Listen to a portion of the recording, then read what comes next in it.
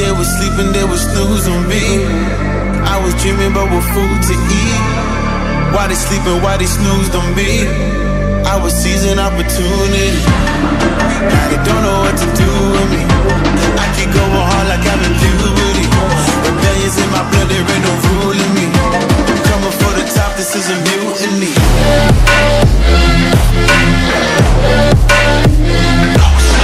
வணக்கம் நண்பா. இன்னைக்கான வீடியோவில் நம்ம எதை பற்றி பார்க்க போகிறோம் அப்படின்னு சொல்லி கேட்டிங்கன்னா என்எஸ் ஃபோர் ஹண்ட்ரட் ஜி இந்த பைக்கோட ரிவ்யூ தான் பார்க்க போகிறோம் ஸோ டெக்னிக்கல் ஸ்பெசிஃபிகேஷன்ஸ் அதுக்கப்புறம் மற்ற விஷயங்களெல்லாம் வீடியோவில் அப்பப்போ சொல்லிட்டு வரேன். சரியா?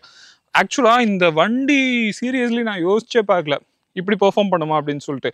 ஏன்னா டாமினார் ஃபோர் ஹண்ட்ரட் ஓட்டி பார்க்கும்போது அதோட பெர்ஃபார்மன்ஸே எனக்கு பிடிச்சிருந்துச்சு. இந்த பைக்கில் ஷேர் பண்ணியிருக்கிறது டாமினாரோட இன்ஜினை தான் ஷேர் பண்ணியிருக்காங்க. அதாவது டாமினார் ஃபோர் ஹண்ட்ரடில் யூஸ் பண்ணுறது கேடிஎம்மோட த்ரீ நைன்ட்டி இன்ஜின் இருக்குல்ல. அந்த இன்ஜின் தான் யூஸ் பண்ணிட்டு இருக்காங்க டியூக் அதுக்கப்புறம் ஆர்சி த்ரீ நைன்ட்டியோட இன்ஜின் தான் யூஸ் பண்ணிருக்காங்க இப்போ ரீசெண்டாக வர வெர்ஷன் இல்லை. இதுக்கு முன்னாடி இருந்த வெர்ஷனோட இன்ஜினை தான் ஷேர் பண்ணியிருக்காங்க. ஸோ அந்த இன்ஜினோட பர்ஃபார்மன்ஸ் டாமினாரில் கொஞ்சம் லிமிட்டடாக இருந்துச்சு. அதுக்கான முக்கியமான ரீசன் என்ன அப்படின்னு கேட்டிங்கன்னா அந்த பைக்கில் இருந்தது வெயிட் அந்த பைக்கோட வெயிட் ஆக்சுவலாக கிட்டத்தட்ட டூ ஹண்ட்ரட் கிலோகிராம்ஸ்க்கு நியரில் இருந்துச்சு. ஆனால் இந்த பைக்கோட வெயிட் பார்த்தீங்கன்னா ஒன் செவன்ட்டி ஃபோர் கிலோகிராம்ஸாக இருந்துச்சு. ஸோ அதனால் இதோட பர்ஃபார்மன்ஸ் அப்படிங்கிறது உண்மையாலுமே அந்த மேசிவாக நம்மளை வந்து ஃபீல் பண்ண வைக்குது அப்படிங்கிறதுல எந்த ஒரு மாற்று கருத்தும் இல்லை. ரெண்டாவது இந்த பைக்கில் என்னை ரொம்ப ஃபீல் பண்ணி அட சாமி என்னடா இது இப்படி இருக்குது அப்படிங்கிற மாதிரி ஃபீல் பண்ண வச்ச ஒரு விஷயம் என்ன தெரியுமா? இதில் இருக்க மோட்ஸ் தான். இதில் மொத்தமாக நாலு மோட்ஸ் கொடுத்துருக்காங்க. நாலு மோட் வந்து என்னென்னு பார்த்தீங்கன்னா இது இங்கே கீழே வந்துடும் தெரியுதா உங்களுக்கு? இப்போ கிளியராக தெரியும். ரோடு ஸ்போர்ட்டு அதுக்கப்புறம் ரெயின் ஆஃப் ரோட் இந்த மாதிரி நாலு மோட் இருக்குது. இதில் ஆக்சுவலாக நான் ஃபஸ்ட்டு வண்டி எடுக்கும்போது இந்த ரெயின் மோட்டில் தான் எடுத்தேன். அந்த ரெயின் மோட்டில் எடுக்கும்போது என்ன ஆச்சுன்னா அந்த வண்டியை வந்து ஒருத்தர் கட்டி பிடிச்சி இழுத்து பிடிச்சிக்கிட்டு இருந்தால் இப்படி இருக்கும்? அந்த மாதிரியான ஒரு ஃபீலு நல்லாவே அந்த ட்ராக்ஷன் கண்ட்ரோல் ஆகட்டும் ஏபிஎஸோட சென்சிட்டிவ் ஆகட்டும் அது எல்லாமே ரெயின் மோடில் வந்து நமக்கு நல்லாவே ஃபீல் ஆச்சு. ஆனால் குறிப்பிட்டு சொல்லணும்னா இந்த ஸ்போர்ட் மோட் இருக்குல்ல அதை மாற்றினோன்னே இந்த வண்டி வந்து லிட்ரலி ஒரு அரக்க மாதிரி வந்து பெர்ஃபார்ம் பண்ண ஆரம்பிச்சிருச்சு. உண்மையாலுமே பர்ஃபார்மன்ஸ் அப்படின்னு சொல்லி நம்ம பார்த்தோம்னா இந்த பைக் பெஸ்ட்டாக இருக்குது இந்த பட்ஜெட்டில் ஏன்னா இந்த பைக்கோட ஆன் ரோட் ப்ரைஸ் அப்படின்னு பார்த்தோம்னா டூ பாயிண்ட் த்ரீ லேக்ஸ் வரைக்கும் மென்ஷன் பண்ணுறாங்க ஒவ்வொரு இடத்த பொறுத்தும் மாறும். நான் இங்கே இருக்கிற ஆன் ரோட் ப்ரைஸ் தான் சொல்கிறேன் எக்ஸாக்டாக பார்த்தீங்கன்னா உங்கள் நியர்பையில் இருக்க டீலரை கேட்டிங்கன்னா அவங்க உங்களுக்கு எக்ஸாக்டாக எவ்வளோ ப்ரைஸ் அப்படிங்கிறத சொல்லுவாங்க. அடுத்தது வண்டியில் இருக்கிற பிரேக்கிங் சிஸ்டம் வண்டியில் யூஸ் பண்ணியிருக்கிறது டியூல் சேனல் ஏபிஎஸ் வந்து யூஸ் பண்ணியிருக்காங்க. ரெண்டுமே பார்த்தீங்கன்னா டிஸ்க் பிரேக்கு ஏபிஎஸோட கொடுக்குறாங்க. முக்கியமான விஷயம் ஃப்ரண்ட்டுக்கு யூஸ் பண்ணியிருக்கிறது ரியருக்கு யூஸ் பண்ணியிருக்கிறதும் கிரிம்காவோட பிரேக்ஸு முக்கியமாக ஃப்ரண்ட்டுக்கு பார்த்தீங்கன்னா ரெண்டு பிஸ்டன் பிரேக்கும் ரியருக்கு சிங்கிள் பிஸ்டன் பிரேக்கும் யூஸ் பண்ணியிருக்காங்க. ஸோ இது பிரேக்கிங் பர்ஃபார்மன்ஸை நல்லாவே என்ஹான்ஸ் பண்ணுது பூஸ்ட் அப் பண்ணுது அப்படிங்கிறதுல எந்த ஒரு மாற்று கருத்தும் இல்லை. கான்ஃபிடன்ஸ் நல்லாவே கொடுக்குது பிரேக்கிங்கை பொறுத்த வரைக்கும். பட் என்னன்னா பைக்கோட ஸ்பீட் வந்து உங்கள் கண்ட்ரோலில் இருக்கணும். அப்போ தான் பிரேக்கிங்கும் உங்களுக்கு கான்ஃபிடென்ட் கொடுக்கும். நீங்கள் பாட்டுக்கிட்டு இந்த பைக் பார்த்தீங்கன்னா அசால்ட்டாக சும்மா என்ன சொல்கிறது தேர்ட் கியர்லேயே லிட்டரலி பார்த்தீங்கன்னா நைன்ட்டி ப்ளஸ் கிலோமீட்டர் பர் ஹார்ங்கிற ஸ்பீடை வந்து ஈஸியாகவே ரீச் பண்ணிடுது அப்போ வந்து ஃபோர்த் அண்ட் ஃபிஃப்த் சிக்ஸ்த் எல்லாம் போகும்போது இது எனக்கு தெரிஞ்ச அப்ராக்சிமேட்டாக ஒரு ஒன் ஃபார்ட்டிலேருந்து ஒன் எயிட்டி வரைக்கும் தாராளமாக அதாவது ஒரு ஃப்ரீ ரோடு கிடச்சதுன்னா இந்த பைக் வந்து தாராளமாக ஓடக்கூடியது. நான்ல டெஸ்ட் பண்ணல. நான் அதிகபட்சமே பார்த்தோம்னா ஒரு எண்பது தொண்ணூறு வரைக்கும் தான் ஓட்டி பார்த்தேன். அதுக்கு மேலே நான் ஓட்டலை. உண்மையை சொல்ல போனோம்னா பர்ஃபார்மன்ஸ் வைஸஸில் அதாவது ஹண்ட்ரட் ரீச் பண்ணுற வரைக்கும் வண்டி அறக்கத்தனமாக இருக்குது. அதுக்கு மேலே நான் வந்து ஓட்டி பார்க்கல. ரெண்டாவது இது என்ன சொல்கிறது ஒரு பீஸ்ட் மாதிரி இருக்குது. ஸோ அதனால் இந்த பைக்கை ஒருத்தர் வாங்கணும் அப்படிங்கிற மைண்ட் செட்டில் இருந்தீங்கன்னா ஃபஸ்ட்டு உங்களுக்கு செல்ஃப் கண்ட்ரோல் ரொம்ப ரொம்ப முக்கியம். அதை தான் நான் சொல்லுவேன். ஏன்னா பைக் வந்து அந்த ஆட்ரலின் ரஷ் இருக்குதுல்ல அதை வந்து நல்லாவே புஷ் பண்ணுது. அந்த வண்டி வந்து ஒரு எண்பது தொண்ணூறு ஓட்டும்போது பா என்னடா இது? அப்படிங்கிற மாதிரி நமக்கே அந்த ஃபீல் கொடுக்குது இல்லை அது வந்து இதில் கண்டிப்பாக கிடைக்கும். அந்த த்ரில்லுக்கு ஆசைப்பட்டு த்ராட்டில் முறுக்குனீங்கன்னா கொஞ்சம் ப்ராப்ளம் தான். அதை மைண்டில் வச்சுக்கோங்க. சரி வண்டியோட லெஃப்ட் அண்ட் ரைட்டில் என்னென்ன சுவிச்சஸ் இருக்குது பட்டன்ஸ் இருக்குது அப்படிங்கிறத ஒவ்வொன்றா பார்த்துடலாம் ஆக்சுவலாக வண்டியோட லெஃப்ட்டில் பார்த்தோம்னா ஃபஸ்ட்டு இந்த இடத்துல வந்து நமக்கு மோஸ்ட்லி பார்த்தீங்கன்னா பாஸ் சுவிச்சஸ் தான் கொடுப்பாங்க. பட் இதில் வந்து டிஃபால்ட்டாகவே பார்த்தீங்கன்னா இப்போ வந்து காம்பினேஷன் சுவிட்சாக கொடுக்குறாங்க. இது நார்மலாக பார்த்தீங்கன்னா லோ பீமில் இருக்கும். இப்படி தள்ளி விட்டுட்டிங்கன்னா இது ஹை பீம்க்கு மாறிக்கும். லோ பீமுக்கு வந்துட்டு அழுத்துனீங்கன்னா பாஸ் சுவிட்ச் மாதிரி இது ஒர்க் ஆகும். ஸோ இது வந்து ஒரு கம்பைன்டு சுவிட்சாக கொடுத்துருக்காங்க. அதுக்கு அடுத்து பார்த்தீங்கன்னா உங்களுக்கு இந்த இன்ஸ்ட்ருமெண்ட் கிளஸ்டரில் இருக்கிற இந்த சின்ன டிஸ்பிளே இருக்குது பாரு மல்டி இன்ஃபோ டிஸ்பிளே அப்படின்னு சொல்லி மென்ஷன் பண்ணியிருக்காங்கல்ல. ஸோ இந்த டிஸ்பிளேவை கண்ட்ரோல் பண்ணுறதுக்காக தான் இந்த சுவிச்சஸ் வந்து கொடுத்துருக்காங்க.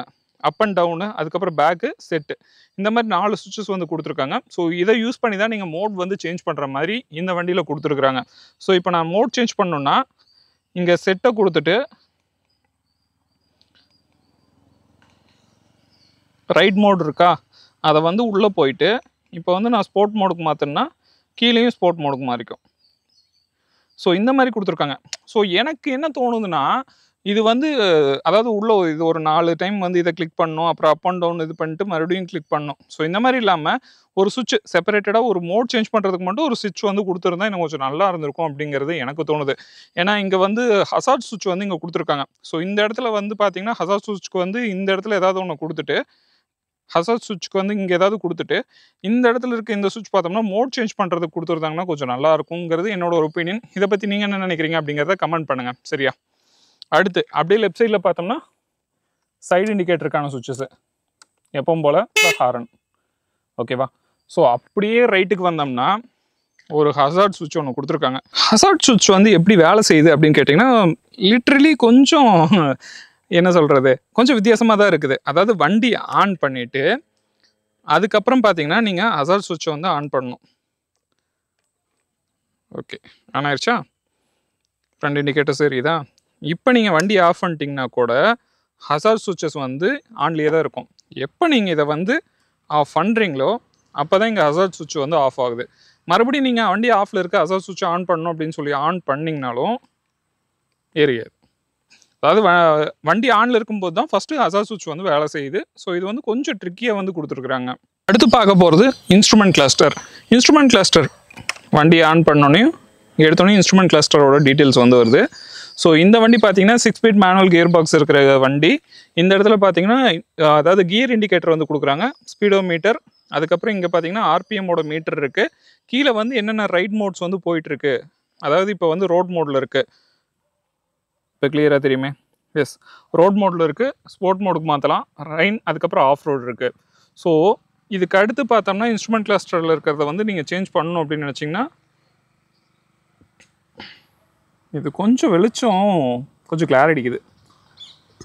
இதோ ட்ரிப் மீட்டர்ஸ் வந்து இங்கே இருக்குது அதுக்கப்புறம் வெஹிக்கிளோட info connectivity trip and bike lap timer இந்த மாதிரி நிறைய விஷயங்களை வந்து இதில் இன்க்ளூட் பண்ணி கொடுத்துருக்காங்க.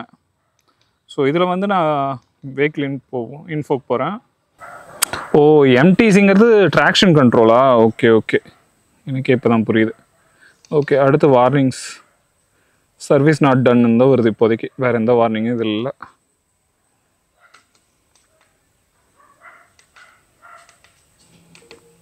அடுத்து கனெக்டிவிட்டி ப்ளூடூத் மியூசிக்னு இருக்குது ஓகே ஸோ இதை வச்சு நம்ம வண்டியில் வந்து ஹெட்செட் போட்டு நம்ம இது பண்ணுற மாதிரி இருந்தால் கூட இதை யூஸ் பண்ணி நம்ம ப்ளூடூத் கனெக்டிவிட்டியில் யூஸ் பண்ணி நம்ம சாங்ஸ் எல்லாத்தையும் சேஞ்ச் பண்ணிக்கிற மாதிரி கூட ஆப்ஷன்ஸ் இருக்குது போல இருக்குது ஸோ ரைட் கனெக்டில் கனெக்ட் பண்ணி பார்த்தோம்னா தான் அதில் என்னென்ன டீட்டெயில்ஸ் இருக்கும் அப்படிங்கிறது நமக்கும் தெரிய வரும். அப்படியே ரைட்டுக்காக வந்தோம்னா ஒரு ஹசார்ட் சுவிட்சு அதுக்கப்புறம் கில் சுவிட்ச் ஒன்று கொடுத்துருக்காங்க. அதுவும் கம்பைண்டு கில் சுவிட்ச் தான். கில் சுவிட்சு அதுக்கப்புறம் வண்டியை ஆன் பண்ணுறது அதுக்கப்புறம் செல்ஃப் ஸ்டார்ட்டு எப்படி இருக்கு வண்டியோட சத்தம்?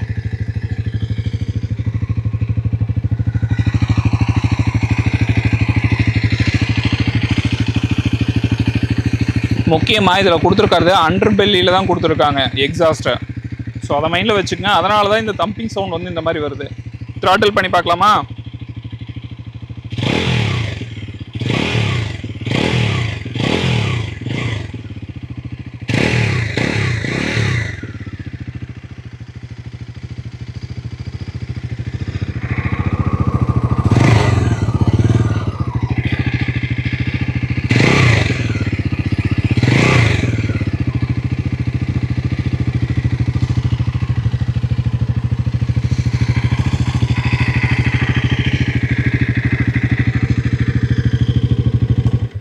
வண்டியில் கம்ப்ளீட்லி எல்இடி தான். ஒரு இடத்துல கூட நீங்கள் ஹாலஜன் பார்க்க முடியாது. சைடு இண்டிகேட்டர்ஸ் எல்இடி டிஆர்எல் அதுக்கப்புறம் ஹெட்லைட் இது எல்லாமே பார்த்தீங்கன்னா உங்களுக்கு எல்இடியில் தான் கொடுத்துருக்காங்க ஃப்ரண்ட்டுக்கு அப்படியே ரியருக்கு வந்தோம்னா எஸ் ரியர் சைடு இண்டிகேட்டர்ஸும் எல்இடி தான். ஸ்டாப் லைட்டும் எல்இடி தான் டெயில் லைட்டும் ஸோ கம்ப்ளீட்லி பார்த்தீங்கன்னா இந்த வண்டி வந்து ஒரு எல்இடி பேக்கேஜை தான் கொடுத்துருக்காங்க லைட்டிங்ஸை பொறுத்த வரைக்கும். டயர்ஸ் அப்படின்னு நீங்கள் பார்த்தீங்கன்னா வண்டியில் யூஸ் பண்ணியிருக்கிறது ரியரில் one forty by seventy section seventeen inch அலாய்வில் tyres வந்து கொடுத்துருக்காங்க ரியருக்கு ஃப்ரண்ட்டுக்கு வந்து one ten by seventy section tyres வந்து யூஸ் பண்ணுறாங்க இதுவும் பதினேழு இன்ச் வீல் தான். ஸோ எந்த ஒரு டிஃப்ரென்ஸும் இல்லை. அலாய் வீல்ஸு டியூப்லெஸ் டயரு அடுத்து சஸ்பென்ஷன் சஸ்பென்ஷன் அப்படின்னு பார்க்கும்போது ஃப்ரண்ட்டுக்கு யூஎஸ்டி கொடுத்துருக்காங்க. அப்சைட் டவுன் ஃபோக் சஸ்பென்ஷன் கொடுத்துருக்காங்க. ரியருக்கு மோனோசாக் அப்சர்வர் வந்து கொடுத்துருக்காங்க. ஸோ அது வந்து எனக்கு தெரிஞ்சு எஸ் இருந்து கொடுத்துருக்காங்க. ஸோ நல்லாவே பெர்ஃபார்ம் பண்ணுது. இந்த சின்ன சின்ன குழியிலெல்லாம் விட்டு எடுக்கும்போது கூட அவ்வளோ பெரிய வந்து நமக்கு விஷயம் வந்து எதுவுமே ஃபீல் ஆகல. நல்லா தான் இருக்குது ஆக்சுவலாக இந்த வண்டியோட ground clearance one sixty nine millimetre அப்படிங்கிறத மென்ஷன் பண்ணியிருக்காங்க. அண்டர் பெல்லி எக்ஸாஸ்ட் வந்து கொடுத்துருக்காங்க. அதுக்கு பதிலாக நார்மல் எக்ஸாஸ்ட் வந்து கொடுத்துருந்தாங்கன்னா இன்னும் கொஞ்சம் கிரவுண்ட் கிளியரன்ஸ் கிடச்சிருக்கலாம் அப்படிங்கிறது என்னோட ஒரு ஒப்பீனியன் ஸோ ஓவராலாக பார்த்தா வண்டி எப்படி இருக்குது அப்படின்னு கேட்டிங்கன்னா நான் சொல்கிற ஒரே விஷயம் இந்த வண்டி நீங்கள் வாங்குற மாதிரி இருந்தால் முதல்ல வீடியோக்குள்ளேயே நான் சொல்லியிருந்தேன்ல self control is most important அப்படின்ட்டு. ஏன்னா அதை ஆட்ரில்னா நல்லாவே பம்ப் பண்ணுது. சும்மா நார்மலாக அறுபது எழுபது ஓட்டுறவங்கள கூட இன்னும் கொஞ்சம் ஸ்பீடாக முறுக்கி பாருப்பா அப்படிங்கிற மாதிரி இருக்குது வண்டி. ஏன்னா அந்தளவுக்கு இதோட பெர்ஃபார்மன்ஸ் வந்து சூப்பராக இருக்குது. ஏன்னா கேடிஎம்மோட இன்ஜின் தான் ஷேர் பண்ணியிருக்காங்க இதுக்கு. ஸோ அதனால் இது நீங்கள் டெஸ்ட் ட்ரைவ் பண்ணி பாருங்க. அப்போ உங்களுக்கு தெரியும் நான் என்ன சொல்கிறேன் அப்படிங்கிறது. அந்தளவுக்கு இருக்குது. ஸோ இந்த வண்டி நீங்கள் பர்ச்சேஸ் பண்ணுற மாதிரி இருந்தால் முக்கியமான மூணு விஷயத்தை நீங்கள் மைண்டில் வச்சுக்கணும். ஏன்னா இது வந்து கேடிஎம்மோட இன்ஜினும் ஷேர் பண்ணியிருக்குது. அது மட்டும் இல்லாமல் இது ஒரு ஃபோர் ஹண்ட்ரட் சிசியாக இருக்கிறதுனால மொதல் விஷயம் மைலேஜ் மைலேஜை பற்றி ஒரு இல்லைன்னா இந்த பைக்கை தாராளமாக பர்ச்சேஸ் பண்ணலாம். ரெண்டாவது முக்கியமான விஷயம் மெயின்டெனன்ஸ் அப்படின்னு சொல்லி போனீங்கன்னா இந்த வண்டியோட மெயின்டெனன்ஸ் கொஞ்சம் அதிகம் தான் மற்ற பைக்குகளை கம்பேர் பண்ணும்போது. ஸோ அதையும் மைண்டில் வச்சுக்கோங்க. ஆனால் வண்டியோட ப்ரைஸ் பார்த்தீங்கன்னா ரெண்டு லட்சத்தி முப்பதாயிரம் ரூபாய்க்கு உங்களுக்கு கிடைக்கும். அதுதான் இங்கே இருக்கிற மிகப்பெரிய அட்வான்டேஜ் இந்த வண்டியை பொறுத்த வரைக்கும்.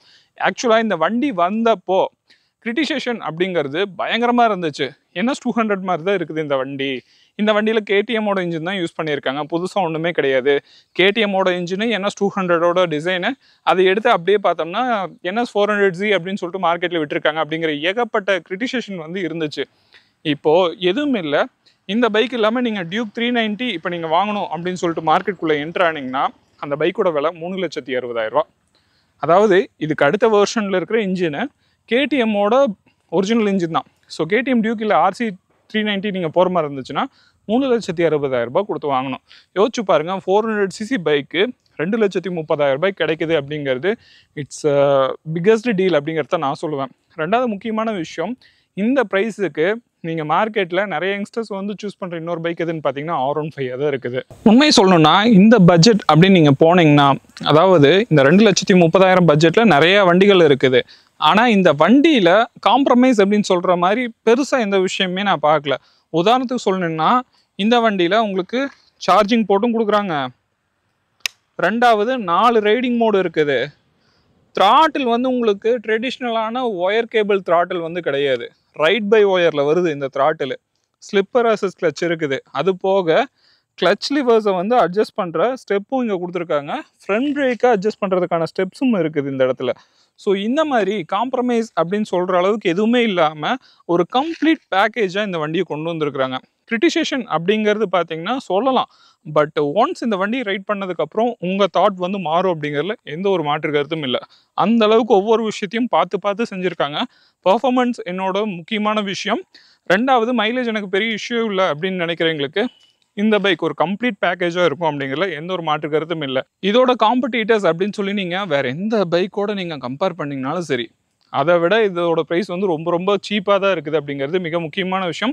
சீப்புன்னு சொல்லக்கூடாது வெரி அஃபோர்டபுள் ஃபோர் ஹண்ட்ரட் சிசியில் ஒரு சூப்பரான பைக் வாங்கணும் அப்படிங்கிற தாட்டில் இருந்தீங்கன்னா it's a value for money அப்படிங்கிறது தான் நான் சொல்லுவேன். இட்ஸ் அ கம்ப்ளீட் பேக்கேஜ் அப்படிங்கிறது தான் மிக முக்கியமான விஷயம். நெகட்டிவ் பாயிண்ட்ஸை நான் இன்னொரு வீடியோவில் நான் அப்டேட் பண்ணுறேன் சரியா? சில விஷயங்கள் இல்லை இந்த வண்டியில். அதை அக்ரி பண்ணணும். இந்த பைக்கில் பழைய கேடிஎம்மோட இன்ஜின் தான் யூஸ் பண்ணியிருக்காங்க. ஸோ அதனால் இதோட மேக்ஸிமம் பவரே முப்பத்தொம்பது பிஹெச்பி பவர் தான். பட் இப்போ வந்திருக்க கேடிஎம் த்ரீ நைன்டி டியூக் இருக்கையில் அது லிட்ரலி நாற்பத்தஞ்சு பிஹெச்பி வரைக்கும் ப்ரொடியூஸ் பண்ணக்கூடியது. ஸோ இதை விடவே அது பவர் அதிகம். அந்த இன்ஜினை ஷேர் பண்ணியிருந்தாங்கன்னா கொஞ்சம் நல்லா இருந்திருக்கும் அப்படிங்கிறத என்னோட ஒரு அபிப்பிராயம். ஏன்னா இந்த மாதிரி ஒரு பைக்கில் பார்த்தீங்கன்னா யாருமே வந்து என்ன சொல்கிறது மைலேஜ் அப்படிங்கிறத எக்ஸ்பெக்ட் பண்ண மாட்டாங்க. பெர்ஃபார்மன்ஸ் எப்படி இருக்குது அப்படிங்கிறது தான் பார்ப்பாங்க. ஸோ அந்த ஒரு விஷயத்த வந்து கொஞ்சம் பண்ணியிருக்கலாம். ரெண்டாவது இது ஃபோர் ஹண்ட்ரட் சிசி கொஞ்சம் டிசைன்ல இன்னும் கொஞ்சம் அப்கிரேட் பண்ணியிருக்கலாம். ஏன்னா டூ ஹண்ட்ரட் மாதிரியே தான் நிறைய விஷயங்கள் வந்து வந்திருக்குது. கிரிட்டிசேஷனுக்காக சொல்லலை. பட் டிசைன் பார்த்தீங்கன்னா அதோட சிபிலிங் மாதிரி இல்லாமல் கொஞ்சம் அப்கிரேடட் டிசைனில் கொடுத்துருந்தாங்கன்னா இன்னும் கொஞ்சம் நல்லா இருந்திருக்கும் அப்படிங்கிறத நான் யோசிக்கிறேன். இதை பற்றி நீங்கள் என்ன நினைக்கிறீங்க அப்படிங்கிறத கமெண்ட் பண்ணுங்கள் இந்த வீடியோ அவ்வளோதான் நண்பா. இந்த வீடியோ உங்களுக்கு பிடிச்சிருச்சுன்னா எப்போ சொல்கிற மாதிரி தான். மறக்காம லைக் ஷேர் கமெண்ட் பண்ணுங்கள் அடுத்த வீடியோவில் பார்க்கலாம். டாட்டா